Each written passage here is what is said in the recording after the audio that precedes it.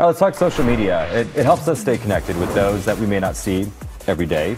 Uh, but it also has a lot of downsides. That's right. Awareness over these negative effects is making some people think about quitting for good. Huh, I yeah, believe it. A new DesignRush survey looked into that and found out what U.S. states have the biggest momentum away from devices. The survey analyzed thousands of search terms related to users wanting to get rid of their accounts or wanting to limit their time on the platforms.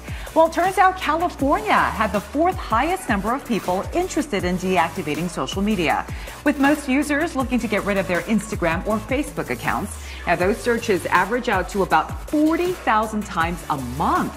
New York, Hawaii, and Nevada rounded up the top three. The study's authors say these trends point to people wanting to shift how they interact with technology and find better balance. I like this. Yeah, you've always done a good job at disconnecting on your weekends. Yeah. And you know, sometimes we'll get on there, but I I'm inspired by you. And oh, thank you. Because it's nice to like to get away and and to not you know pay attention so closely. Yeah. To... I mean, I believe social media has you know um, good points and relevance, but right. personally, on my days off, I don't even look at social media. Smart. I don't care. Right. And when I feel like engaging, I'll engage. Now, granted, I'm probably behind a week's worth of you know, stuff going on. Stories okay. and then whatnot, yeah, right. It's okay. But the bottom line is, if it doesn't make you feel good, right. it's okay to get away. Exactly. So you got to focus on your mental health That's for right. sure.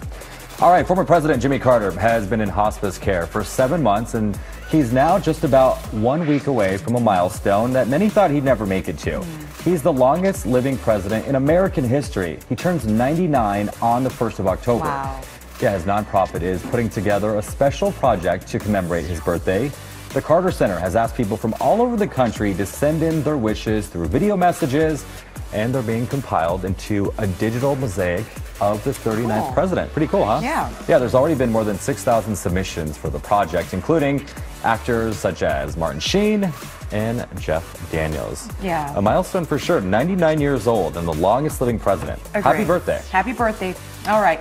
Halloween is set to be no tricks, all treats in the 90210 this year. The city of Beverly Hills is banning young people from carrying silly string, shaving cream, or hair removal products on the spooky holiday. What's a hair removal product? Um, like shampoo? I'll explain to you later. Oh, okay. okay. so those are Oh, hair things- removal. I got it. Yeah. I was thinking something Come on, else. Chris. Yeah. Okay.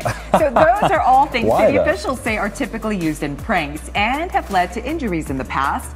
The ordinance is set to apply to people under 21 starting at 6 a.m. on Halloween until 6 the following morning. Interesting. What's going on in Beverly Hills that they got to ban this? Up to no good. Up to no good, Up to no apparently. good. Yeah. Okay. So uh, talking about Halloween makes Yes. me think tomorrow is fall. Yeah. CBS News Los Angeles, your local news, streaming wherever, whenever.